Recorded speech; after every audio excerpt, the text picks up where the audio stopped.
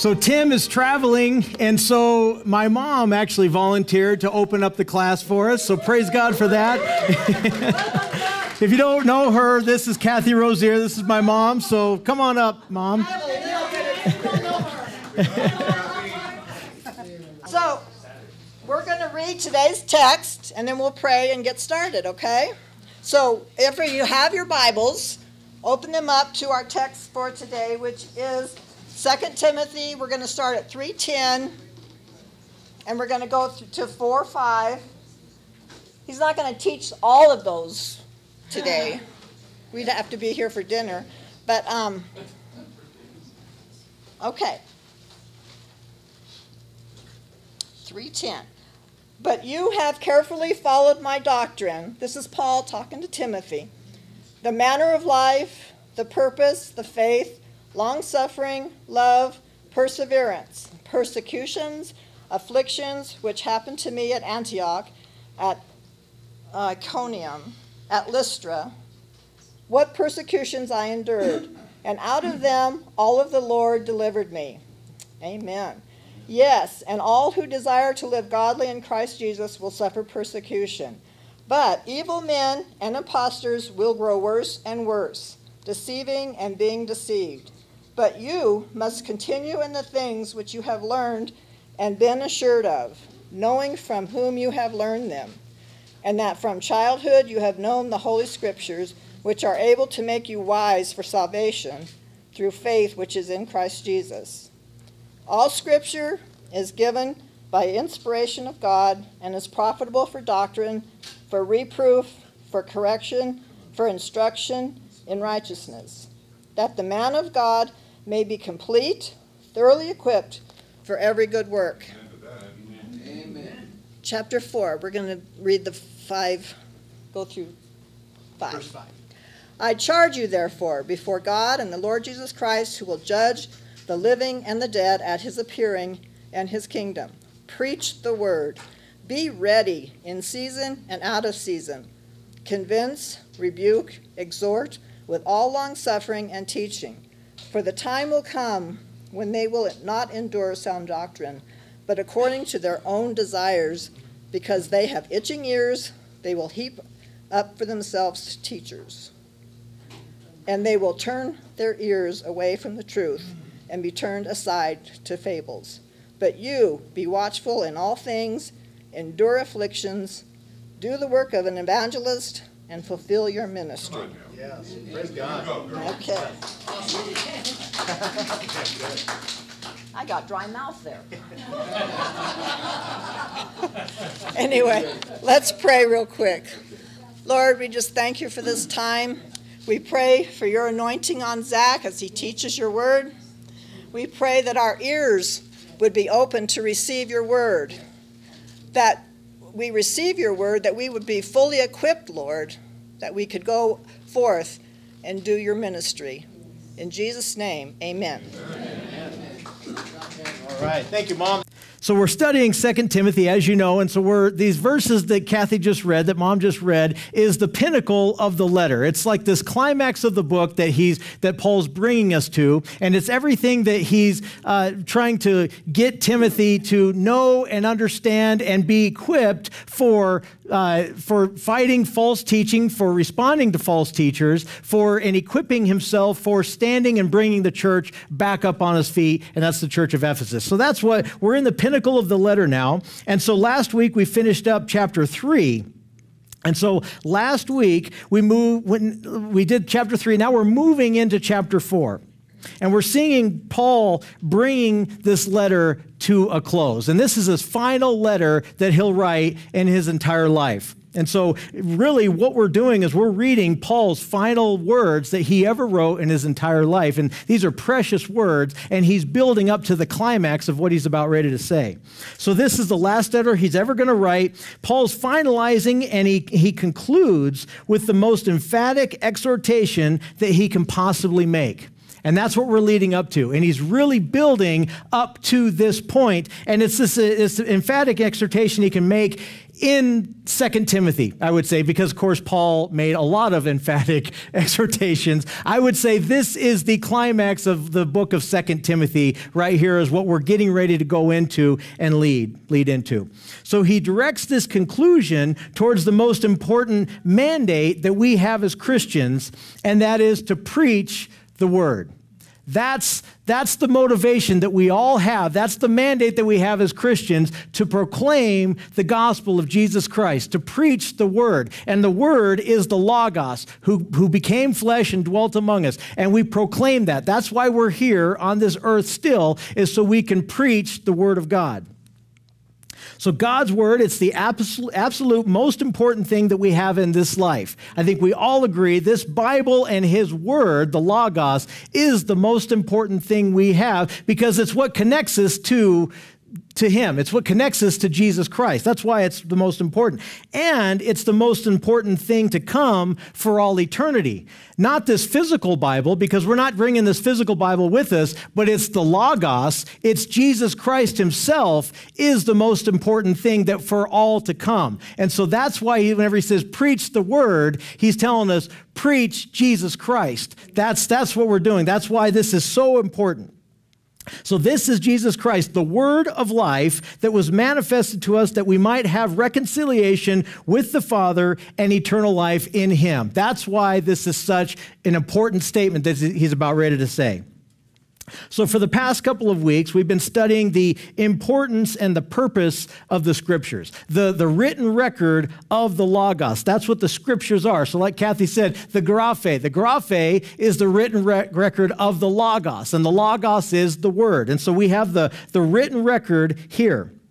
So we can now have the understanding and the comprehension of the word of life himself. That's why we have the written record, so we can understand him, we can understand Jesus Christ. So this is the written record of the truth because his word is truth and Jesus Christ is truth. So this is the written record of the truth.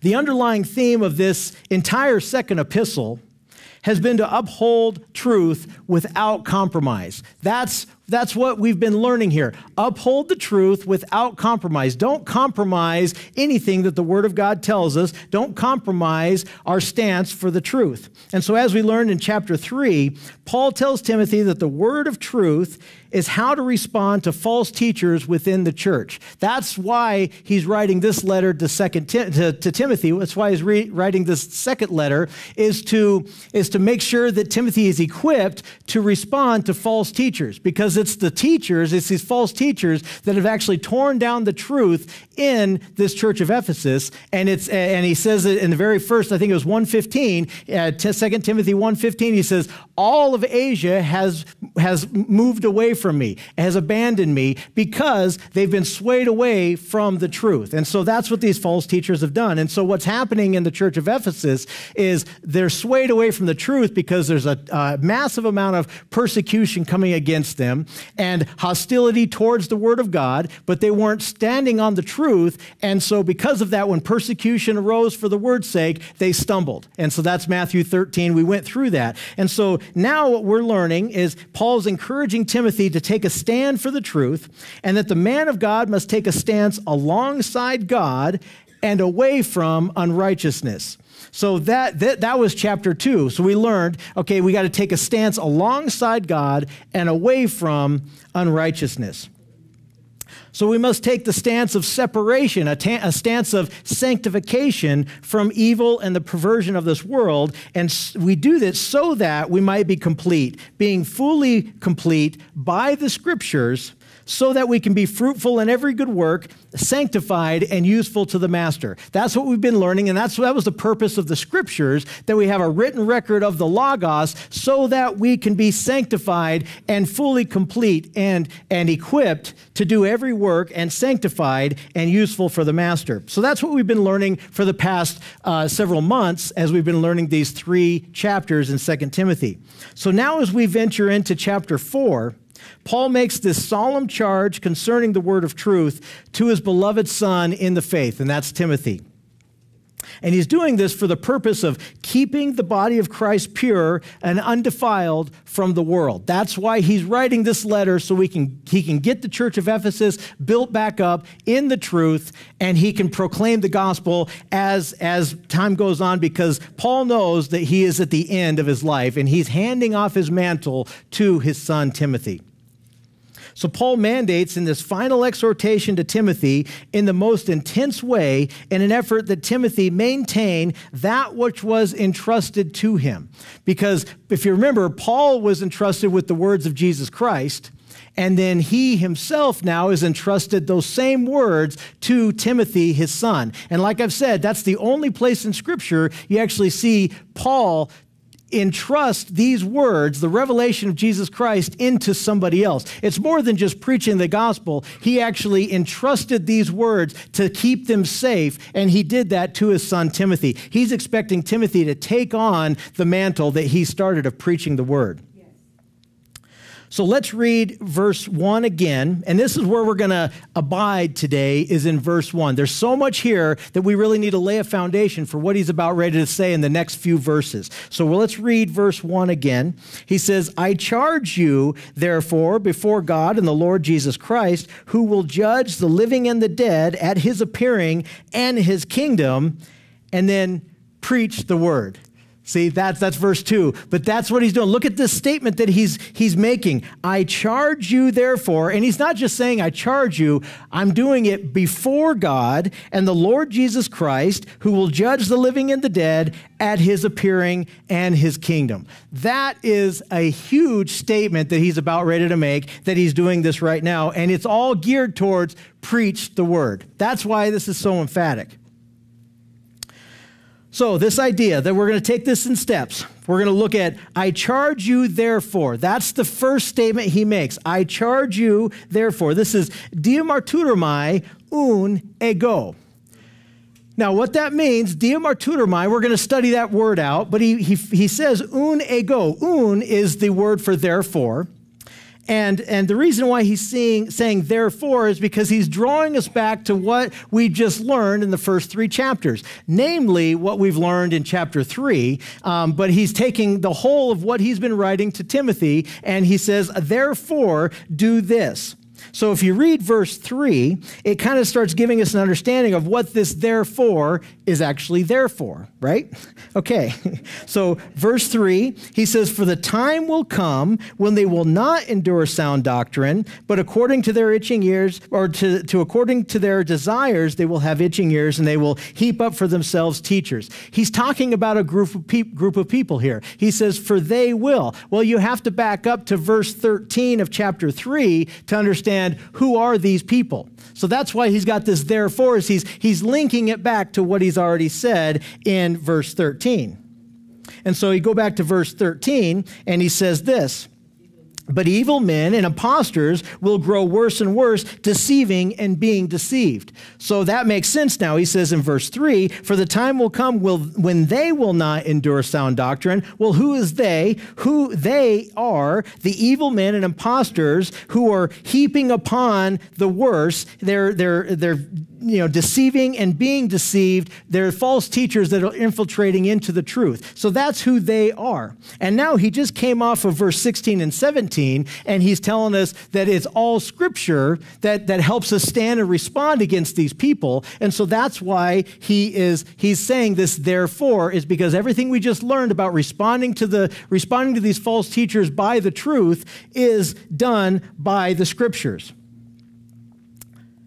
Okay, so this therefore, it's how we use the Word of God to respond to false teachers. And we've seen this in the first three chapters. So just to recap here, and we're not going to go through all of them, but let me just give you a couple of examples of where we see Timothy uh, understanding, getting the, the, the words from Paul on how to respond to false teachers. So go with me to 1, 2 Timothy 1.13.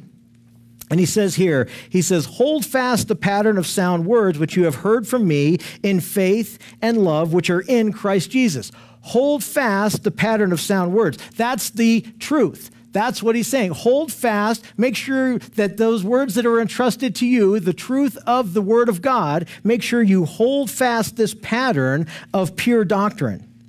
And then he goes into 14. That good thing which was committed to you, those are the words of Jesus Christ, keep them, hold them fast, guard them by the Holy Spirit who dwells in us. So that's that's verse 13 and 14. He starts off the letter telling him to make sure you hold fast the word of God. Now go to 214 he says, remind them, and actually in the Greek we learned that he's actually talking specifically to Timothy, and he says, I'm reminding you, Timothy, of these things, and I'm charging you before the Lord not to strive about words to no profit to the ruin of the hearers.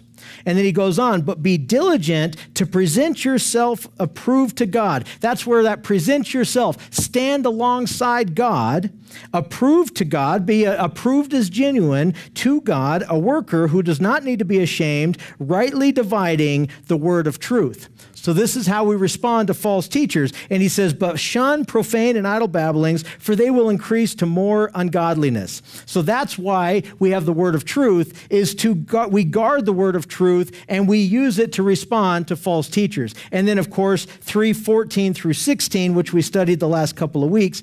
And so, if you look at 14, but you, Timothy, continue or abide in the things which you have learned and been assured of, knowing from whom you have learned them. So, what are the things that he's supposed to be abiding in? Abiding in the things he learned from Paul, and that's the gospel. That's the gospel, the message of Jesus Christ. And then he goes on and he says, and those things that you learned from childhood, which are the Holy Scriptures, the Old Testament, so which make us wise for salvation, and we have salvation through faith, which is in Christ Jesus.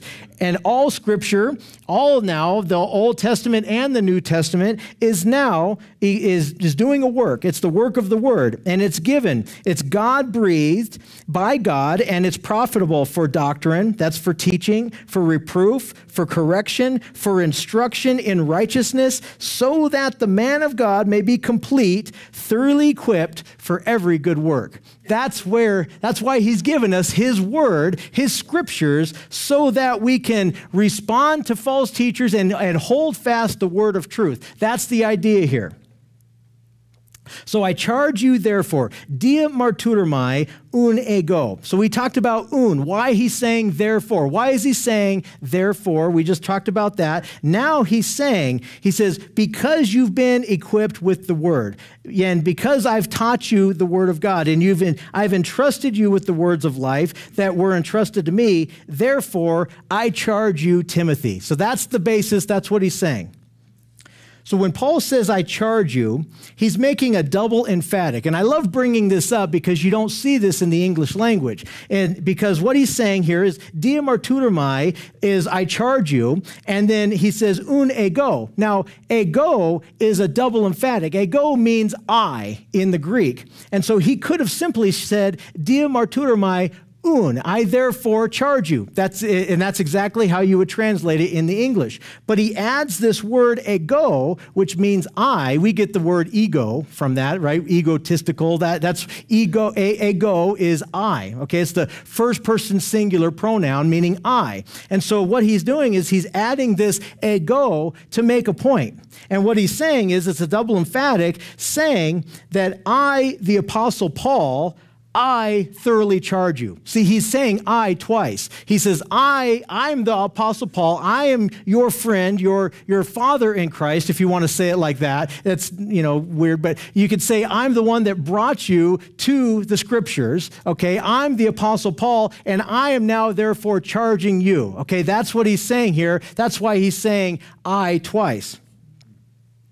So, dia martyromai, this is a really special word, and I want to show it to you. He says, I thoroughly charge. Okay, dia martyromai. Now, we get the word martyreo or martyr from this. And so you can see it I highlighted in, in the yellow or in the uh, green here. But dia martyromai, that word right there is martyr. And so we this comes from the word marteo, which is right there. And so you can see dia martyromai is, is the word martyr martyr or to testify. And so, as we know, the word martyr actually grew into a different meaning because if you testified of Jesus Christ in the first century, if you're a witness of his glory, you were killed for saying that. That's how martyr turned into being a martyr, as in dying for something you believe, dying for something you testify. So, here, martyreo is literally I'm testifying or I'm witnessing about something. Now, if you notice this, dia is a preposition in front of this word, and that means thorough. It means complete. I am thoroughly testifying. I'm completely testifying and witnessing to you. He's making this very emphatic to Timothy. Now, what's interesting about this word is that only Luke and Paul actually use this word in their writings.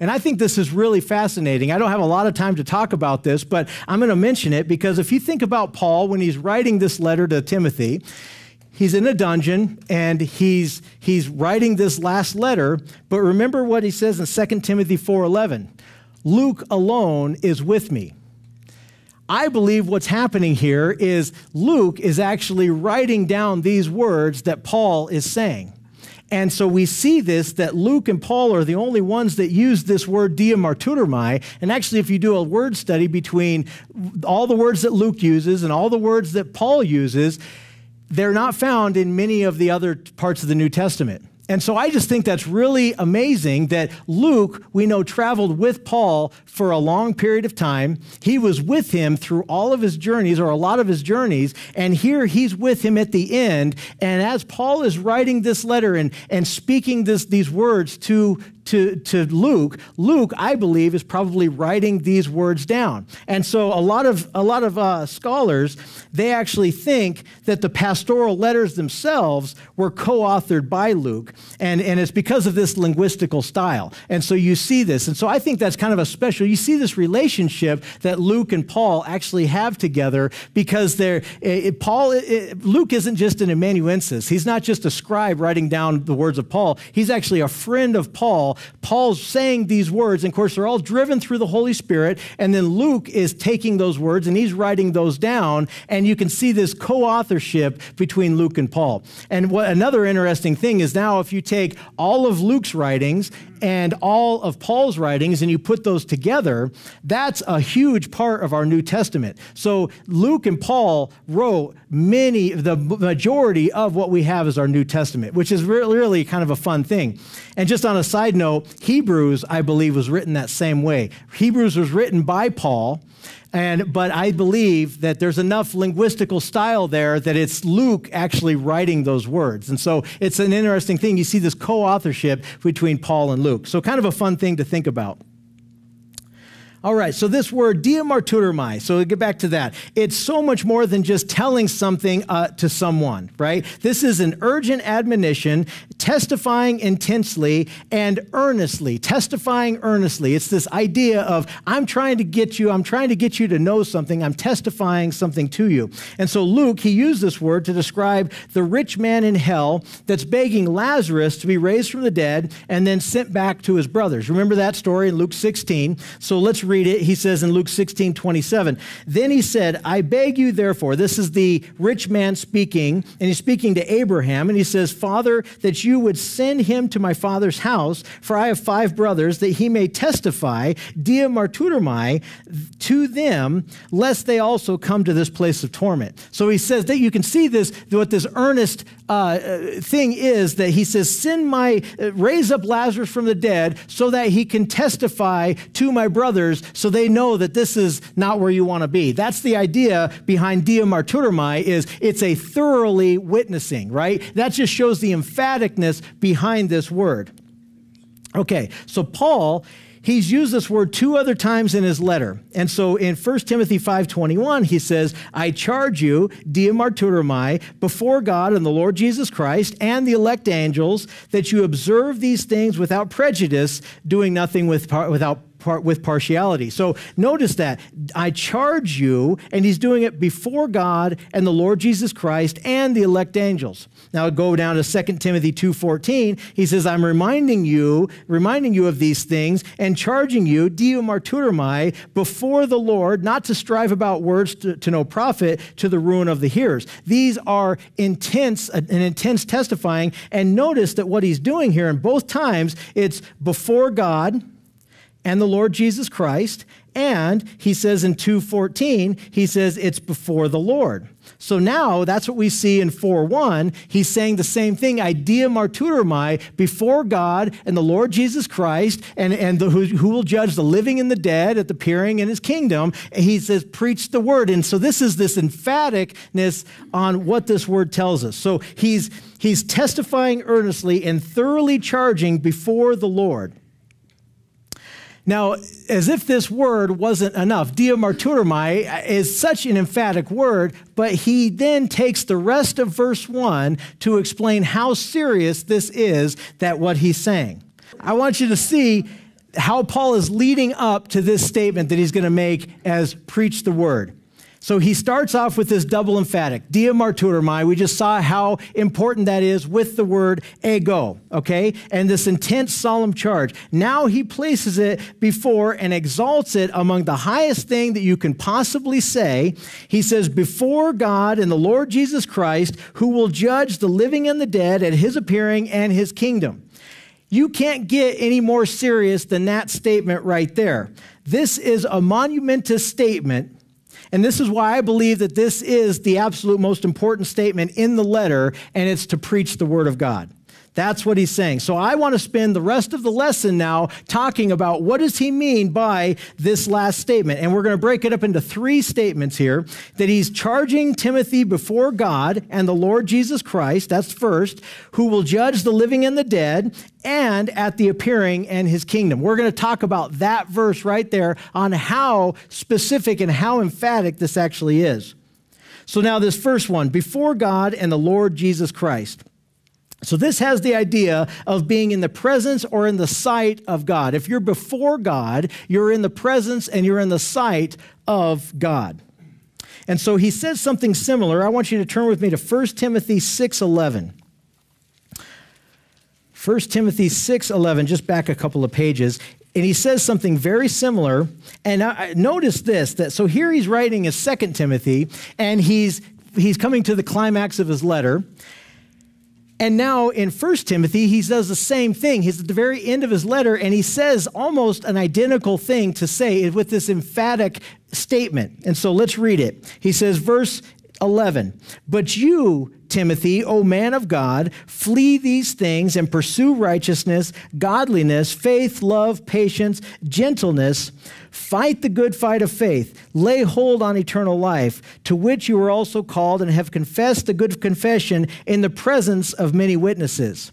So look at how emphatic he's getting ready to, he's saying this. He says, I urge you in the sight of God, right? That sounds just like I'm doing this, I'm, pre, I'm charging you before God and the Lord Jesus Christ. I urge you in the sight of God, who gives life to all things, and before Jesus Christ, who witnesses the good confession before Pontius Pilate, that you keep this commandment without spot blameless until, uh, uh, until our Lord Jesus Christ appearing, which he will manifest in his own time. And he who is the blessed, the only potentate, the sovereign, he is the only sovereign, the King of kings, the Lord of lords, who alone has immortality, dwelling in unapproachable light, whom no man has seen or can see, to whom be honor and everlasting power. Amen.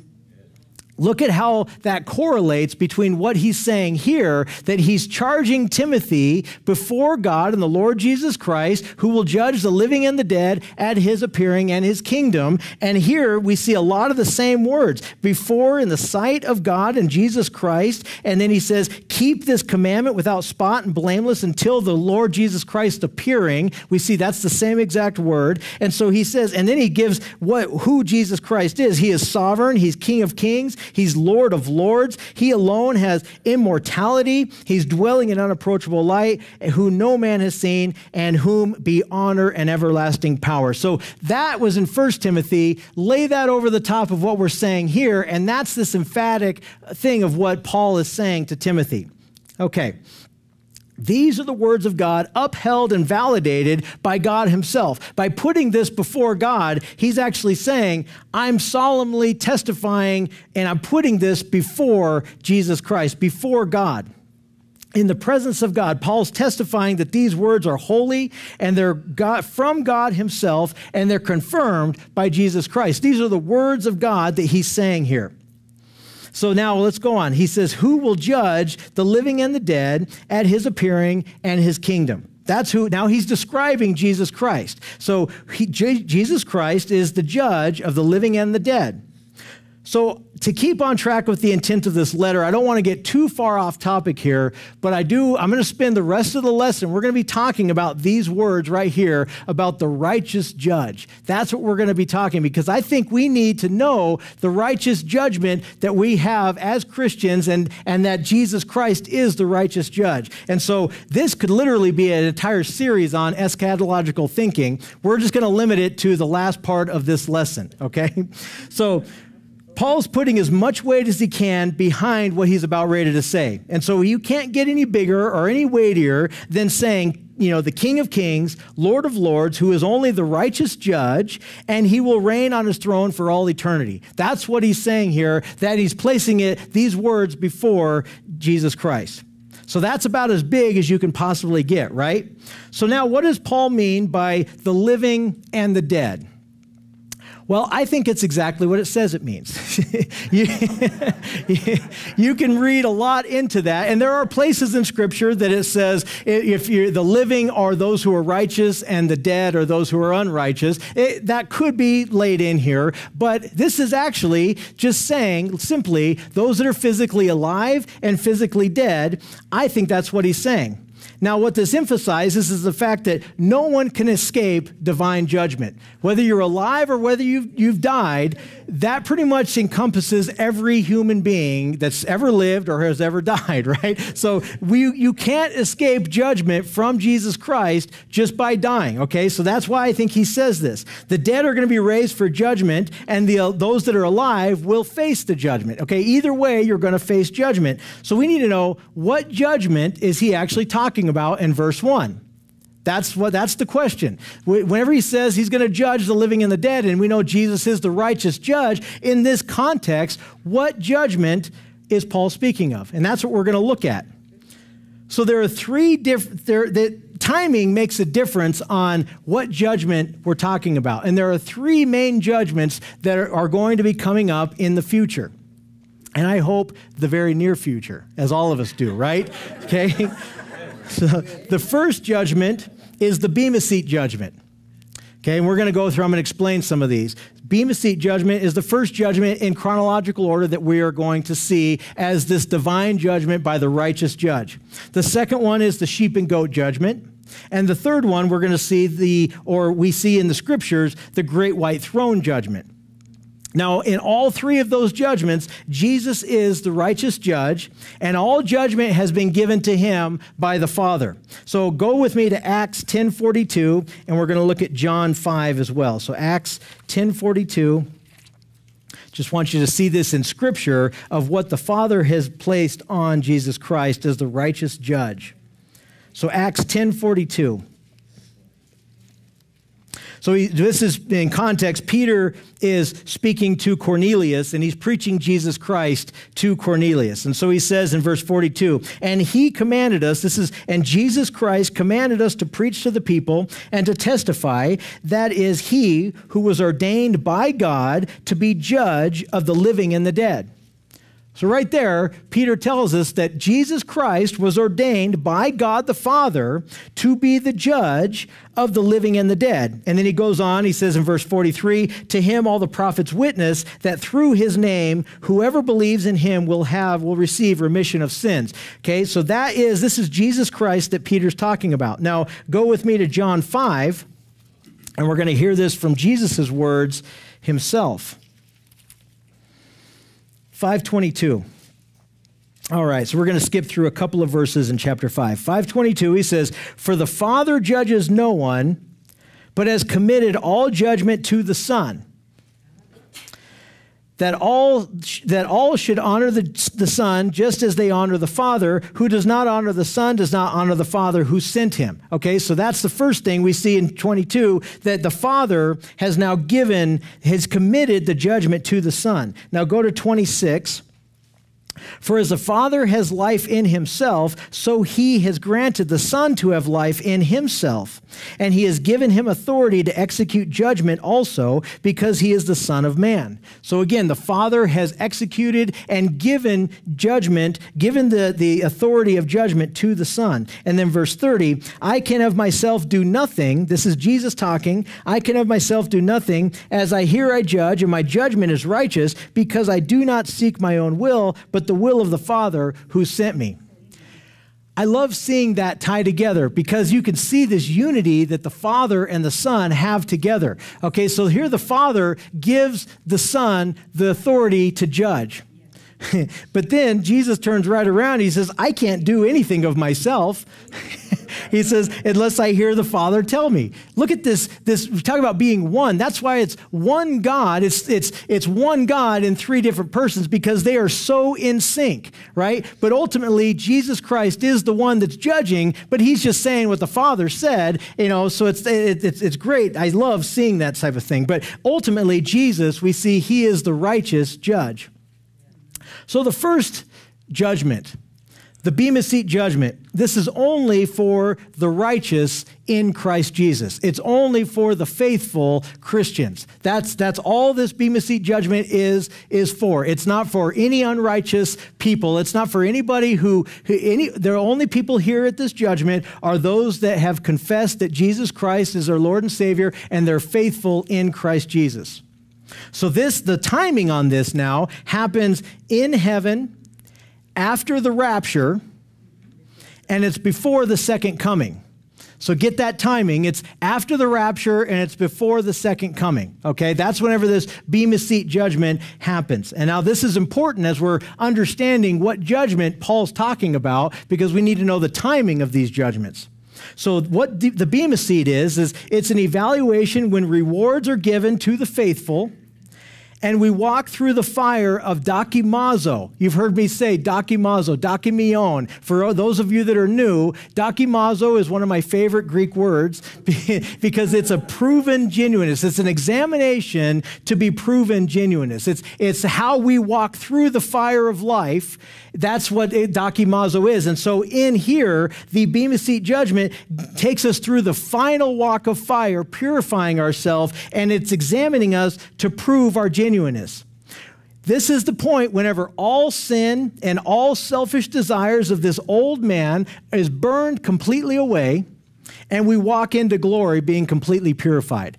That is, so we, we are walking in sanctification right now in this life but we are never going to be purely sanctified until we walk through the fire of the Bema Seat, which completely purifies us, sanctifies us, and we walk into eternal life with purity and glory forever to be His bride, right? That's the idea here. That's the Bema Seat judgment. That's why this is so exciting for the Christian, is that the Bema Seat judgment brings us into glory. We want to participate in this judgment. So, judgment, this is really, um, it's not a judgment for for sin, it's a, it's a judgment on faithfulness. It's according to our faithfulness because Jesus bore our sin. So this is not something to do with a judgment on sin. This is a judgment according to our faithfulness to Jesus while we were on the earth. It's a, it's a judgment uh, concerning the condition of our heart towards God. And so, because we don't have a lot of time to talk about this, I have a bunch of scriptures there just talking about what the Bema Seat is, and you can look th- at those in the notes.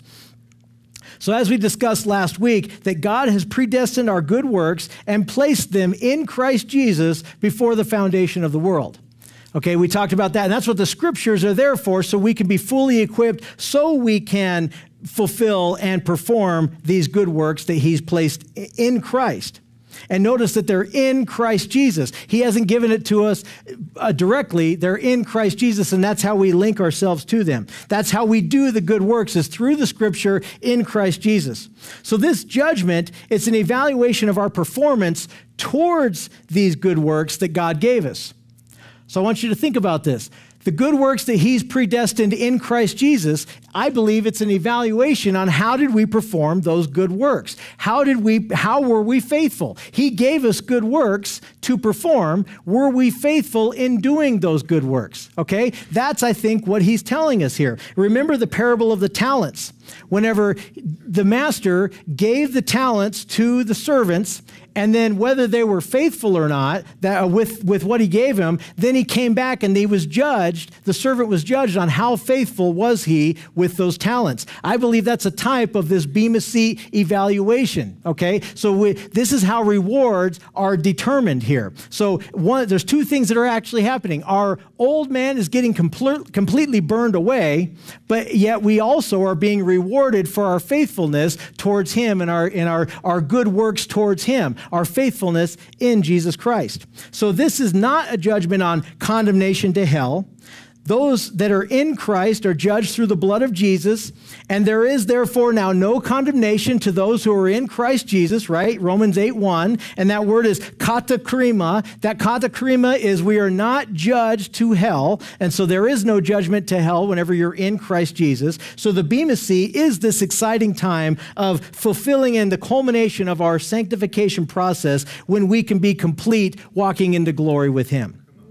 All right. So now the second judgment, the sheep and goat judgment. You guys have heard about this sheep and goat judgment.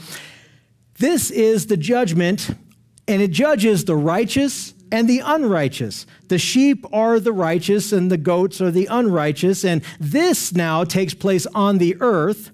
And it's after the second coming. It's whenever Jesus comes back, he reigns on this earth for a thousand years. There's going to be the millennial reign. And before he sets up his kingdom, the first thing he does is he separates the sheep from the goats. That's the sheep and goat judgment.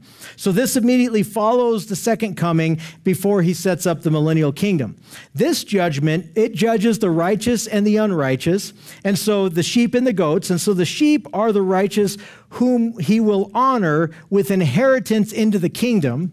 So he's allowing the righteous into the kingdom because he's getting ready to set up his kingdom.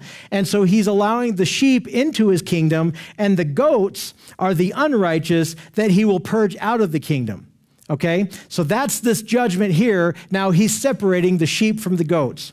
So, this is Jesus displaying his authority as the righteous judge of the universe. And so we see this. Matthew 25, 31 is a, is a big one on that. Um, Daniel and, and uh, Acts and John speak to that a little bit. The last judgment, yeah, Jim, did you have a question? I'm confused. So, the, the righteous that are, I'm confused with the sheep that are still here on earth versus the righteous that are caught up in the rapture. So, I can't go into that right now because I actually wanted to, but we won't get through this lesson. That's an excellent question. And maybe as I go through, you will understand. But after class, we can talk about that because there is a separation. There's a separation of those Christians that go through the Bema seat and those Christians that are the righteous on this earth. It's a really big discussion. So we won't, I can't go into that, but that's an excellent point of view. What you can do is after this lesson, think about that idea and understand how does this play in? And maybe some of the things we talk about are going to answer that. Okay, the last one is the great white throne judgment. Now, this is a judgment for only the unrighteous. This is only those who have rejected Jesus Christ. Christians are not going to be at the great white throne judgment. This is only a judgment casting those who reject Jesus into the lake of fire. Okay, this is a bad place to be. None of us are going to be there. Yep, right? So. So the timing on this takes place after the millennial reign. So this is a thousand years in the future from the sheep and goat judgment. This is after Satan's released from his chains in the bottomless pit because Satan, during that millennial reign, Satan's chained for a thousand years. Satan gets released. The devil makes one final war with God, like he thinks he can defeat God after a thousand years. And, and he, gets him, he gets one verse about that battle in Revelation, and basically fire comes down and annihilates them all. I love that, right? he's locked up for a thousand years. He makes this big push to try and overtake God, and he's overtaken. He, yeah, it, fire comes down and it annihilates him completely. So then at the great white throne judgment now, then this is basically immediately after that, we have the, the judgment and this is in heaven because at this point the earth now is is done. So everybody's actually goes up to heaven at the great white throne judgment. This is after the thousand years. And anybody not written in the book of life is cast into the lake of fire forever. Okay so that's that's in there. So those the unrighteous that were judged at the sheep and goat judgment those that are unrighteous are participating in this great white throne judgment a thousand years later. So you can kind of get this concept of what's happening. And just remind you, this is Jesus Christ judging. This is the righteous judge. This is our Lord and Savior doing this judgment. This is, and so if you think about now, and we're going to be going through 2 Timothy 4 1, how emphatic Paul is whenever he places that G- it's before Jesus who will judge the living and the dead. That's emphatic because we just saw those three judgments are very powerful, and it's Jesus Christ doing that, and he's placing the, this statement before the righteous judge. Okay? So, after learning these three judgments, just very quickly, kind of getting an understanding, which judgment would you say is Paul referring to in chapter 1? Verse, you know, four, four, uh, chapter 4, verse 1. Well, it, it, so let's go on about that, okay?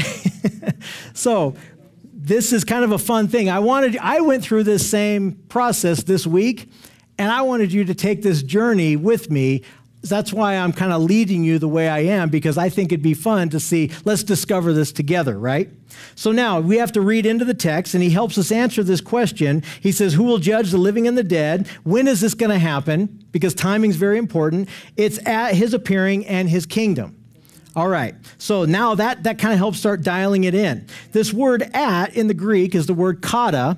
Kata doesn't really mean at, it means according to or according with or in accordance with. So you can read it like this. You can say that who will judge the living and the dead in accordance with his, his appearing and in accordance with his kingdom. It's in accordance with, eh, you know, it doesn't, and so at is okay, but it doesn't really happen at, it's in accordance with. Okay, so that's, a, that's something we want to keep in mind. The word appearing is the word epiphaneia and this means to shine upon. Now, the word is a compound of epi, which means upon, and so you can see this word epi right here, preposition, and then the root is phino, and so you can see it phinea, and so the root word is phino, and to, to phino means to shine. And so you put those together, and it means to shine upon. So I love that idea. So think about to shine upon something means you're revealing, you're manifesting, you're showing something, you're shining the light on something. And this is all about Jesus Christ. Well, John 1, remember we read that? Here, let me just read it because this now think about the appearing as a shining the light. In him was life, and the life was the light of men, and the light shined into the darkness, and the darkness didn't comprehend it. This is a shining of light. This is the epiphaneia. This is the appearing of Jesus Christ, and he's shining his light to the world. Now, this word epiphaneia, it's used six times in Paul's letters. And, and so in 2 Timothy 1.10, it's referred to what, what I just read in John, that it's referring to the incarnation of Jesus Christ. Here, I'm going to flip over there, 2 Timothy 1.10 so you can just kind of get a feel for what this is. 2 Timothy 1:10. He says, but, but has now been revealed by the appearing, by the ephaneia of our Savior, by the shining upon by our Savior, Jesus Christ, who has abolished death and brought life and immortality to light through the gospel. Okay, so that in this case, 2 Timothy 1.10 is the incarnation of Jesus Christ. We also see that this epiphaneia, this shining upon, happens at the end of the, uh, the end of the age, the second coming, whenever he says in 2 Thessalonians 2 8, whenever whenever he comes and he shines his light on the Antichrist, and the Antichrist is actually destroyed by the shining, by the appearing or the brightness of his coming. That word, brightness of his coming, is epiphania. He's shining upon. So Jesus comes at the end of the age, at the end of the tribulation, he shines his light on the earth, and the Antichrist is destroyed.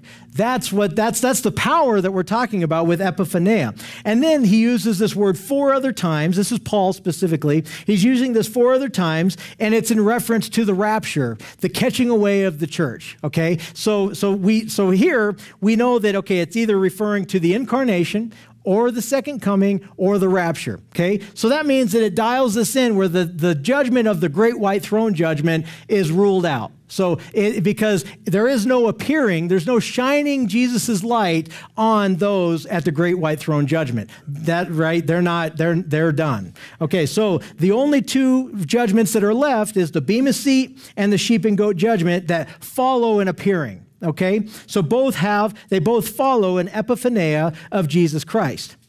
So now, if you read 2 Timothy 4 1 on its own, just, just on its own, you can infer that it may just it may be talking about the sheep and goat judgment. And there are many scholars that actually believe that this is the sheep and goat judgment. And the reason why is because he talks about his appearing and he talks about his kingdom. And so that fits with the sheep and goat judgment. But, but that's just if you read verse 1 on its own. Now, if you read the context of what's happening, I believe it's the Bema Seat judgment. So, and I'm going to show you why I think it's different than what some scholars believe. And so the reason why, there's two reasons is because Paul's speaking directly to Timothy. Timothy is a faithful brother in Christ. This is, he's talking about, you know, building up, being faithful in Christ Jesus. It's, it's, a, it's, a, it's an uplifting thing. I think the Bema Seat judgment is encouraging, right? We just went through that. And then he uses some same language in verse 8. And so if you go to 2 Timothy 4 8, read this with me. 2 Timothy 4 8, this is Paul's final send off, right? We're going to get to this in a few weeks. But he says in verse 8, finally, there is laid up for me the crown of righteousness which the Lord, the righteous judge, that's who we're talking about, the righteous judge, who, who has given, the laid up for me the crown of righteousness, which the Lord, the righteous judge, will give to me on that day, and not to me only, but also all who have loved his appearing also all who have loved his epiphania. We love, as Christians, we love the epiphania. We love his shining his light on us because that's the point whenever we get brought up to heaven. If you're the Antichrist, you don't love the epiphania because you're going to hell, right? So, so, so here, he says, he says the righteous judge is giving him the crown of righteousness, and he is, and, and he's giving them on that day, and he specifically is naming that day, and who have loved his appearing. Now, this is just a few verses from what we're reading in verse 1. So, in context, Paul is referring back to that day, those who have loved his appearing. We know in verse 1 that he is the judge of the living and the dead at his appearing. It's the same word. So, so then link this together. The only, the only judgment in which you are going to be granted a crown of righteousness is the Bema Seat judgment. So, it, so this is how I'm getting this: is that Paul says that he is going to be granted a crown of righteousness, not only to him but also those who have loved his appearing. And then in verse one, he says that he is the righteous judge, and, and he's going to judge the living and the dead at his appearing and his kingdom. So I think that that right there, the fact that Paul in verse eight refers to that day that he's going to be getting uh, the crown of righteousness, and we're going to be loving his appearing I think it's, it's so closely related that this has to be the Bema Seat judgment. That's why I believe that whenever he's writing this letter to Timothy, he's placing this in front of it. It's an encouragement, it's a, it's a letter of hope to Timothy. And so I don't believe he would be writing this letter of hope about the sheep and goat judgment. I think he's writing it about when you're going to get, you yourself are going to get the crown of righteousness because you're faithful. So that's my conjecture. There are plenty of people that don't agree with me, but I just, that's the way I see it here. All right. So, with this in mind, let's talk about who the living and the dead would be if this is truly the Bema Seat judgment. So he's going to judge, and at the time, it's at, eh, he's going to judge the living and the dead at his appearing in his kingdom. So who are the living and the dead at this appearing? Go with me to 1 Thessalonians 4:15. Just back a couple of pages. 1 Thessalonians 4:15. So he says in verse 15, For this we say to you by the word of the Lord, that we who are alive and remain until the coming of the Lord will by no means precede those who are, are, are asleep. For for the Lord himself will descend from heaven with a shout, with the voice of an archangel, and with the trumpet of God, and the dead in Christ, that's the dead he's talking about, the dead who are in Christ will rise first, and then we who are alive Okay, this is the judge of the living and the dead. Then we who are alive and remain shall be caught up together, shall be harpazo, that's the word for rapture, that's where we get it, will be raptured together with them in the clouds to meet the Lord in the air, and thus we shall always be with the Lord. Therefore, comfort one another with these words. What an encouragement of hope, right? That's what, and so that judgment of living and the dead, I believe, is what's happening at the rapture because the rapture, in a sense, is a judgment. He's coming down and he's, he's rapturing those that were faithful. He's rapturing the Christians who were faithful, whether they're dead or alive. That's their rap- he's being, they're being raptured up, and then they're being placed in front of the Bema Seat judgment, and he's judging them. See, that's what's happening here. And so that's the, the living and the dead at this time of his appearing. Okay, so then he goes on, and we now we need to understand what does he mean by in accordance with his kingdom. So he's he's judging the living and the dead in accordance with his appearing. So now we all understand that he's judging the living and the dead at the rapture, and then he's also this is in accordance with his appearing because his epiphania is coming whenever he he rescues us and and uh, catches us away into heaven. Now it's in accordance with his kingdom. So these rewards that we are handed out at the Bema Seat judgment, that is the, that's what's in accordance with his kingdom. And I'm going to show you this. This is it's in accordance with his kingdom. And I think that's why it's so important that we understand it's it's according to, not just at, because that's where people I think make the mistake that if, if it was at his kingdom, well, that's the point whenever he's setting up his millennial kingdom. This is in accordance with his kingdom. That's a little bit different. Okay, so the things that are our rewards that are according to his kingdom, that what that means is that these rewards are going to be demonstrating throughout the entire kingdom for all eternity, our rewards are demonstrated. Okay, so whenever we're rewarded with a crown of righteousness, our rewards are demonstrated to the kingdom for all eternity. Our rewards determine the level of our service for all eternity in his kingdom. See, this is why walking in the good works that he's prepared for us now and being faithful to him now set us up for how our eternal life is actually going to function. And it's going to be determined, it's going to determine our level of service in the kingdom. So our rewards in heaven will work in accordance with his earthly kingdom because this the rewards are what tell us that we're going to be reigning with him in his kingdom. That's how it works in accordance with his kingdom. So jesus as a couple of examples jesus says in revelation 3:21 to him who overcomes i will grant to sit with me on my throne. That's a reigning. We are going to be granted a reward of reigning with him for all eternity as I also overcame and sat down with my Father on his throne. That is an amazing exaltation of us that he is going to grant us to reign with him who is the righteous judge. I want that. I think you just said that, too, right, Steve? this is awesome. I love Revelation 5. This is Revelation 5, whenever we're standing before the Lamb and we're singing to the Lamb. Listen to what we're going to be saying here. It's, this is the 24 elders who represent those that were raptured at, this time, at his appearing. So listen to this. This is Revelation 5. You are worthy to take the scroll. This is what we're singing to the Lamb. We're, you are worthy to take the scroll and to open its seals. For you were slain and have redeemed us to God by your blood out of every tribe and tongue and people and nation, and have made us kings and priests to our God, and we shall reign on the earth. So look at this, this perspective now. This is a, a really interesting thing to think about as far as timing goes, because what's happening here is those Christians, those faithful Christians, were raptured and they're standing now before the throne and they're seeing the Lamb of God take the scroll out of the Father's hand. What is it that triggers the 70th week of Daniel, the Great Tribulation? It's the opening of the seals that are on that scroll.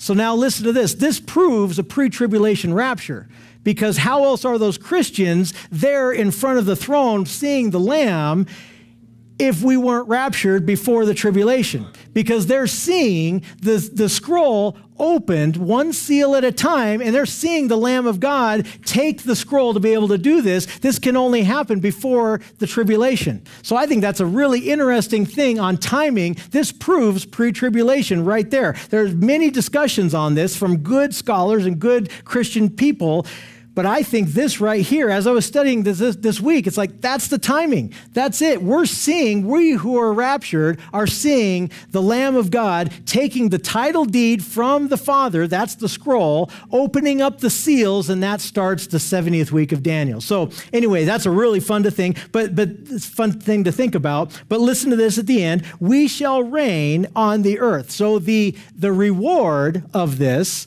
of being raptured and going through the Bema seat is that we will reign on the earth. This now goes back to the thousand year reign after the tribulation when we now ride down behind Jesus Christ as he's coming down for the sheep and goat judgment and to set up his millennial kingdom. This goes to your question, Jim.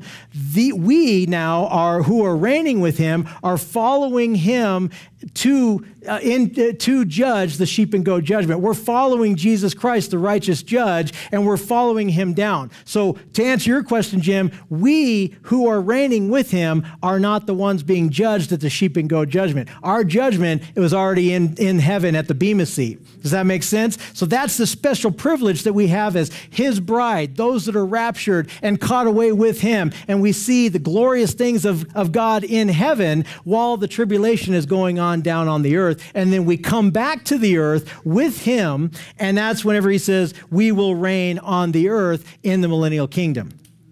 Okay, so now another one, 2 Timothy 2:11. We just studied this a couple of weeks ago or several weeks ago. This is a faithful saying, for if we died with him, we shall also live with him. All right, that's great. Amen. We are if you if you died and gave your life to Jesus Christ, you will live eternally with him. But he gives us a special privilege, a special reward for those who endure and who are faithful. If we endure, we shall also reign with him.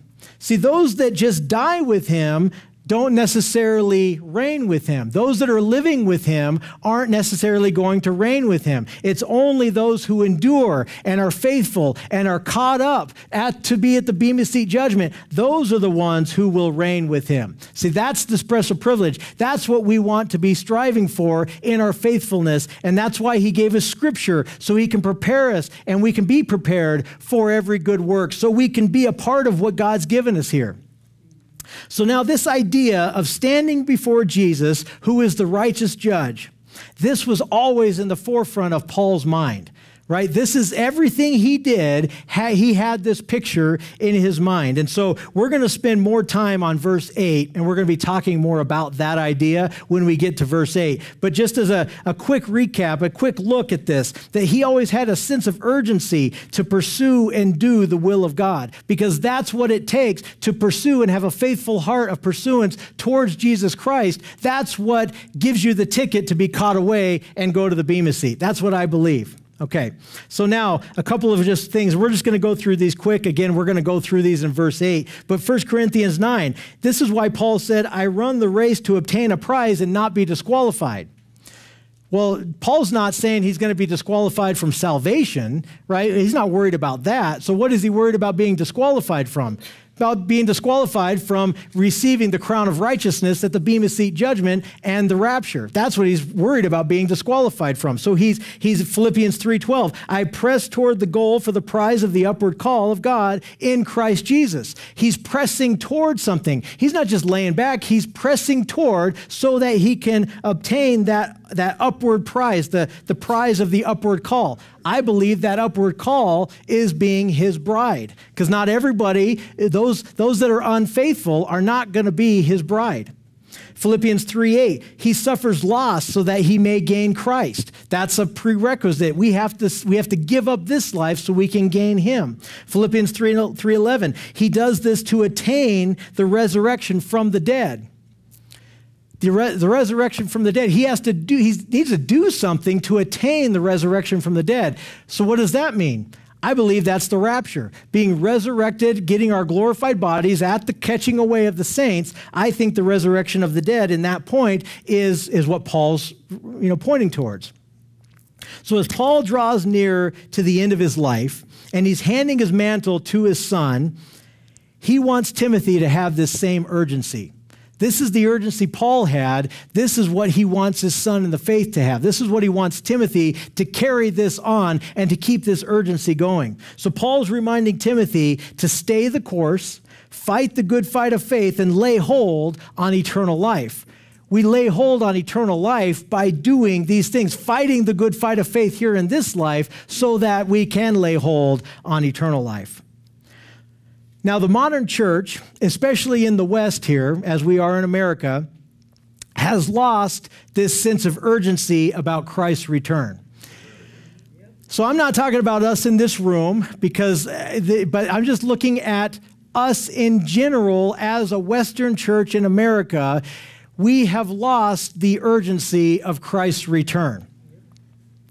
So in the first century, there was persecution and there was suffering and the concept of Jesus' imminent return was, was their main focus. The fact that they were constantly looking for Jesus to come back through persecution and suffering because they were, they were being persecuted. They didn't know if they were going to live the next day or not because most of them actually died for being a Christian. So their hope wasn't that they would have a better life, their hope was that they would have eternal life with Jesus Christ. That's what we're missing in America.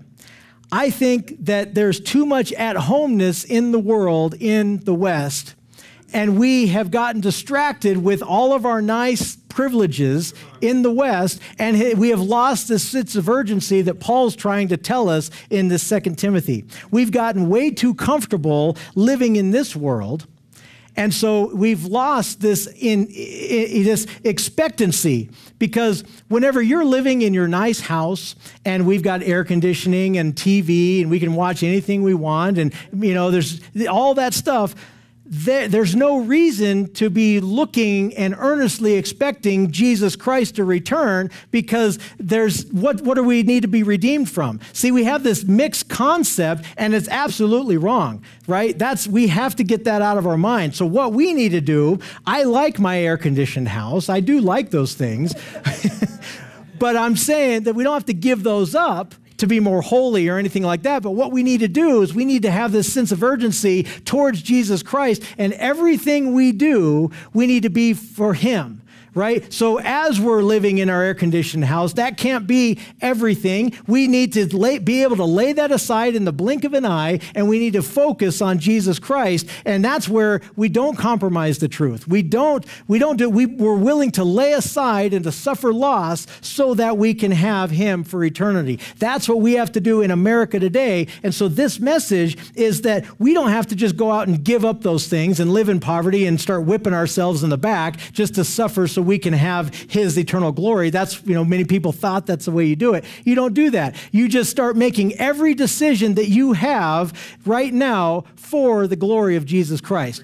Everything we do has to be looking to his return. We need to have an urgency and an earnestness, being watchful and expectant for his return. That's what we need to be focusing on every minute of every day.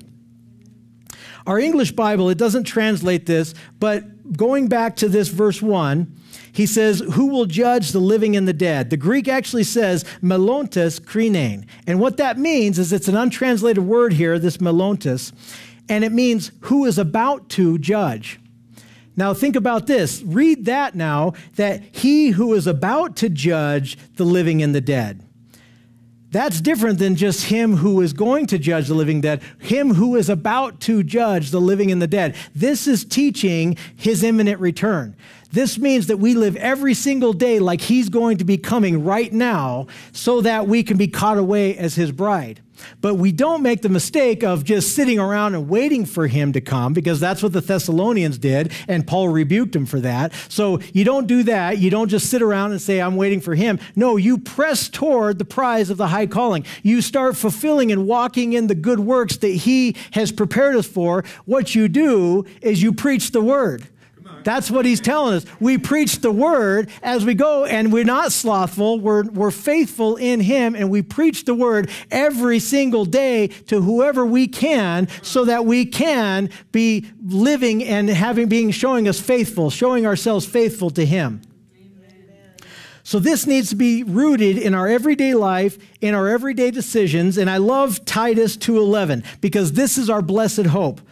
For the grace of God that brings salvation has appeared to all men, teaching us that denying ungodliness and worldly lusts, we should live soberly, righteously, and godly in the present age. That's sanctification. That's what the scriptures are doing. It's bringing us sanctification, and it's teaching us this. And the whole time we're walking in the good works that He's prepared for us, Look at verse 13. We're looking for the blessed hope and the glorious appearing of our great God and Savior Jesus Christ. We're constantly looking. I have a funny story. I was, I was, I just built a deck. I wasn't planning on saying this, but I think it'd be fun to share you. Uh, I was building a deck, and it was kind of a big deck, and I put up a bunch of lights, and I was tired, and I fell asleep on my couch and then I, I, woke up and it was night and I had turned on the lights and I looked outside and the lights were so bright that it just looked like bright light and my eyes were still kind of sleepy and I was like, is this it? Is Jesus coming back?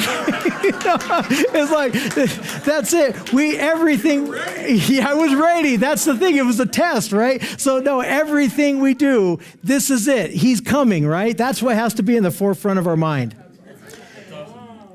I love the end of our Bible, right? The end of our Bible, the way Revelation ends, this is exactly what we have in our hearts every single day. Jesus gives us the assurance, He gives us this promise. He says, Surely I am coming quickly. And then John says, Amen, even so, come, Lord Jesus.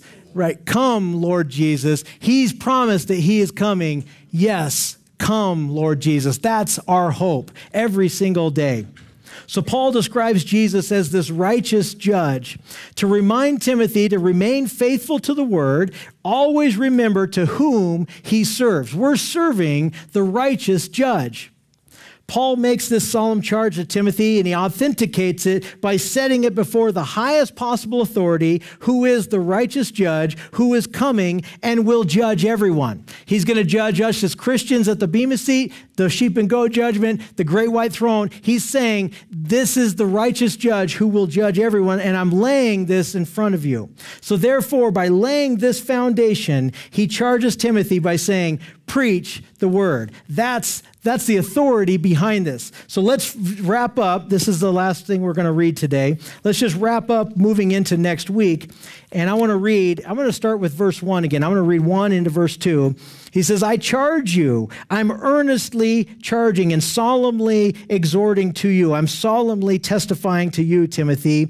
Therefore, before God and the Lord Jesus Christ, who will judge the living and the dead according to his appearing and according to his kingdom, preach the word. Be ready in season and out of season. Convince, rebuke, exhort with all long suffering and teaching. So, this mandate, this is the mandate for all Christians that we have until his glorious appearing, and that is to preach the word. All right. So, we'll study what that means to preach the word next week. All right, let's go ahead and wrap up with prayer. Thank you so much, Father, for your word, for your your logos that you sent to us in your glorious his glorious appearing that we might know salvation through him. And then through this we might know eternal life in him by being faithful to what he's given us. Father just work in us. Dokimazo me now. Test me and examine me and prove me genuine so that i can be a faithful servant to you in this life so i can reign reign eternally with you in everlasting life. Father, give me the strength, and all of us here, the strength to preach your word without compromise and without any tolerance, that we only stand for the truth and we stand alongside you. In this name, this precious name of Jesus, amen. amen.